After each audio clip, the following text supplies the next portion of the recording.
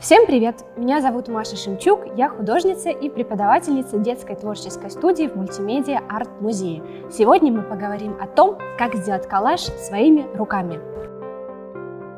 Мы находимся на выставке Игоря Мухина «Наши 90-е. Время перемен». Какие перемены запечатлел фотограф? На работах Игоря Мухина мы видим переломный момент в нашей истории, когда Советский Союз прекращает свое существование, а на его месте появляются новые государства и новые герои. Именно фотографии чаще всего становятся основой для коллажа. Но перед тем, как начать, нужно разобраться, что же такое коллаж. Коллаж – это прием в искусстве, когда в одном художественном произведении соединяются разные детали по смыслу, материалу и содержанию.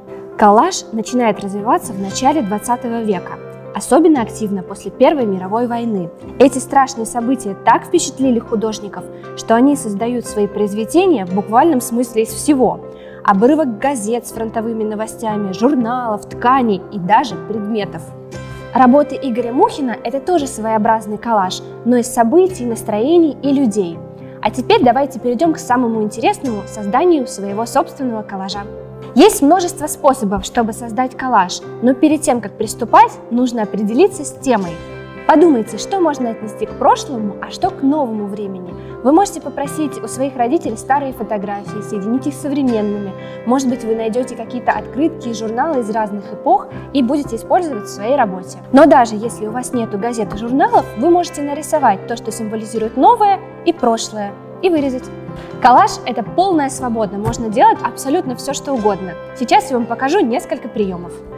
Вы можете резать картинку ножницами, можете рвать их руками, можете добавлять детали из бумаги разных фактур и цветов. И, конечно же, рисовать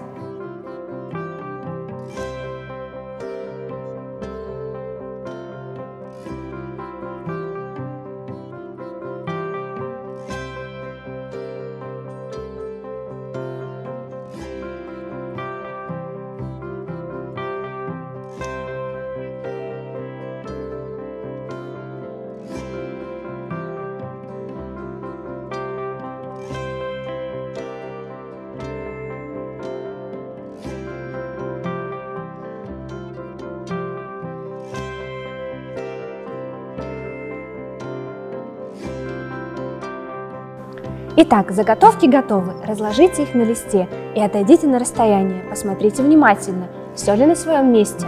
Подвигайте их немножко, поиграйте. И когда будете уверены, начинайте приклеивать. Можно для этого использовать клей, а можно цветной скотч.